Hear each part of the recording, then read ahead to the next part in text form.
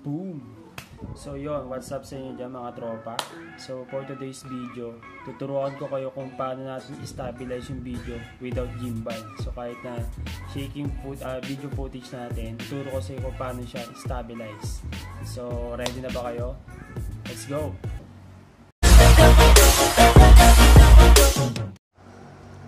So yun na, Bali guys, ang gawin lang natin, ayan, punta lang tayo sa Google Photos. Hanapin ng Google Photos sa mga Android phone nyo. Ayan, so meron naman yung Google Photos. So guys, kung hindi pa updated yung Google Photos nyo, uh, make sure na, na ma-update nyo muna siya. Alright? Ayos ba? So, once ma-update mo na siya, so hanapin mo lang yung video na yun. For example, ito yung, papakita ko sa sample video. For example, ito yung, ito yung na-record ko kanina. So mapapansin mo shaky yung quality ng video natin. So para may stabilize siya, mag, uh, simple lang guys ang gagawin natin. No?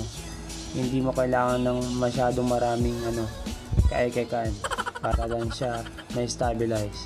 So ito guys, wala akong ginamit na gingle. Uh, Bitagingle. Uh.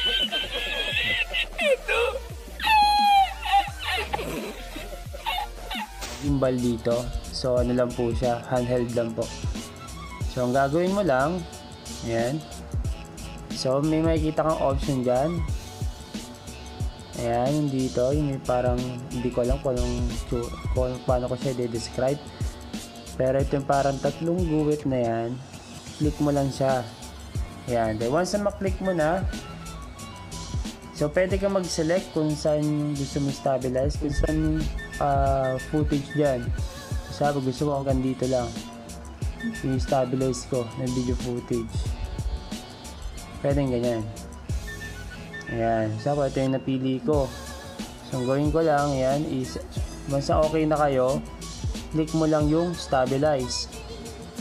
Ayan. Then pagka click mo yung stabilize automatic siya na mismo mag-ayos nyan so ganun lang kasimple guys no? Walang kahirap-hirap. Sobrang dali lang niya. So guys try nyo. Uh, I'm sure magugustuhan yan para yun sa mga yung mga wala pang gimbal na yun gusto na maging steady yung pinaka video footage. So maganda to. Magandang gamitin to guys. So yun. Tayo natin siya matapos. Ayan. So habang nihintay nyo kanta kanta muna kayo. Kanta mo mga dalawang happy birthday. Mga ganyan. Grabe init. A few inches later hindi na siya ma-play dito na maayos kasi nasa ano, screen recorder. Pero, pag, pagka sa mismong phone nyo, pag tinry mo siya, makikita mo mismo yung pinaka-preview niya. Yung pinaka-video na naka-stabilize na siya. So, yun.